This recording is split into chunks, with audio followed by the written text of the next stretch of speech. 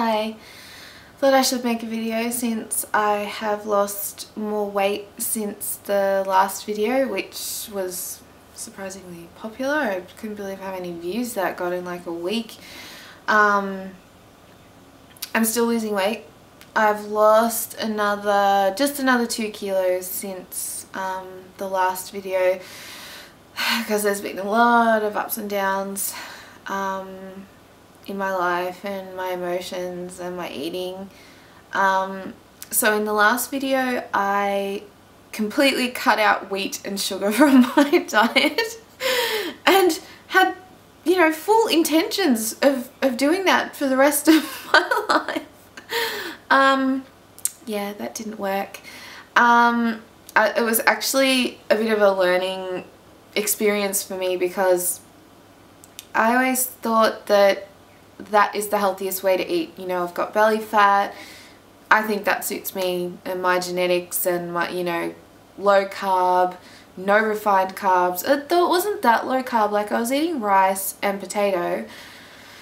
But, um, yeah, so no refined carbs, no wheat, no sugar, um, no cane sugar. Like I was still having a little bit of honey and fruit and stuff like that. But no cane sugar, no processed foods of any kind, basically just quite clean, natural eating. And it sounds great in theory and it sounds like it should make you feel wonderful and it did make me feel, I was fine with it. For two weeks I was like, when I'd get hungry I'd think, yeah I want something really high protein and low carb like it wasn't a problem for the first two weeks. But then after about two, yeah, two weeks I started to feel really ill. I started to feel really nauseous. Some other bodily things which I'm not going to go into but that were signs of just like excess protein to low carb ketosis type stuff. But I wasn't eating that low carb though. And I didn't feel that my protein intake was that high but maybe I didn't quite realize how much I was having. But it got to the point where I had protein aversion. I could not smell or look at anything high protein. A boiled egg or a piece of fish or anything like that, I would look at it or even think about it and gag. Literally gagged and I'm not a, a vomity type of, you know, gaggy person at all. And yeah, it just, my body was telling me, no, this is not working. It wasn't a it wasn't a self-discipline issue or like, you know, you caved into your cravings type thing. It didn't feel like that at all. It felt like this is wrong. My body does not like this. I need high carb diet. And that's all there is to it. So I am eating relatively high carb now. I haven't gained any inches off you know from what I lost. I think the change on my body shape was actually due to the cardio and everything not not really what I was eating. I know personal trainers and every fitness guru out there says, you know, in terms of belly fat and body shape that it's 80% diet and 20% exercise or something. I think that is an absolute load of shit. like, I have been eating uh, quite varied, but you know, I have been eating um, white pita bread and pasta and some processed things here and there and not particularly high protein anymore. And my body shape is still the way it is because I've kept up the exercise because I have to. Because um, I've actually been having a lot of anxiety which out of every emotion you could possibly have I just can't do anxiety. Anxiety and grief, can't do.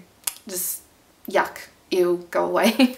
um, yeah, it's been really taxing on my body because my anxiety is so physical. It's, you know, the heart palpitations and the buzzing in your chest and the butterfly churning in your stomach and it completely puts me off my food so I've been eating less than I probably should some days but I'm also trying to be trying to help myself by having enough protein and um, leafy greens and B vitamins and everything for like neurotransmitter synthesis and I'm having fish oil and, and I have to exercise at least daily, sometimes twice a day to try and burn some of the adrenaline. So yeah, I'm not really enjoying this weight loss, but it is nice that I'm not, you know, pregnant looking anymore. I mean, I've still, I've still got the pot belly, but it's not anything like it was before. So back in the day when I was always trying to lose weight and everything, um, my waist was 43 inches. Ew. So let's just let's just see how big that was. So that's how big my waist was before. Horrid.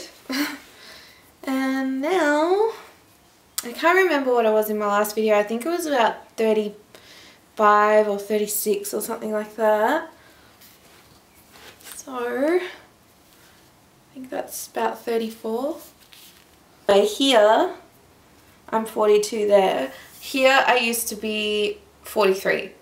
So if you think my like my waist was 43 and my hips were 43 so I've definitely changed my body shape because now I'm nine inches smaller here and only one inch smaller here. So, and I'm not doing anything crazy with my diet, I'm just doing a lot of cardio. So this isn't really the most flattering outfit, but I'll pull this a bit tighter to show.